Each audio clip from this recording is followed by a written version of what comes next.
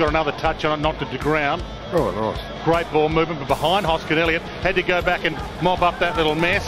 Thomas to keep it alive, does just.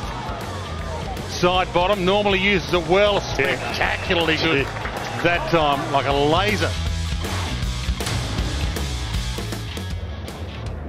Cox, front spot, in the end almost went alone to Pendlebury.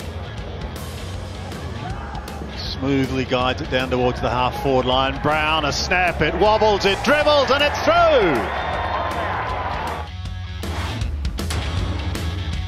JLT, last hit out for these two teams, but it's the only reality we've got. Oh! Howe pulls down an absolute ripper.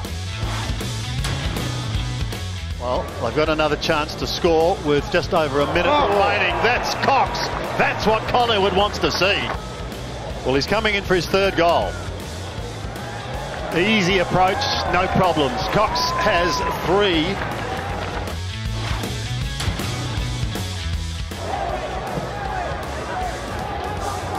And this is ominous. Goldsack if it sits. He's got oh. Varcoe there as well.